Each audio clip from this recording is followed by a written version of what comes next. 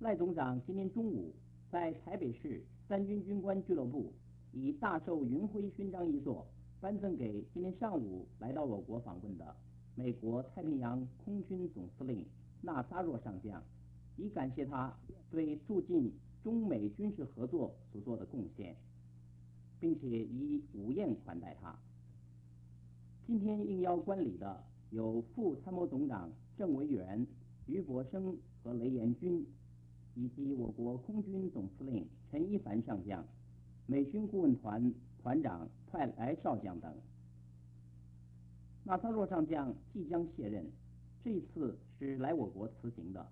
今天上午，他曾经拜会了行政院副院长蒋经国。今天下午，他还拜会了国防部长黄杰。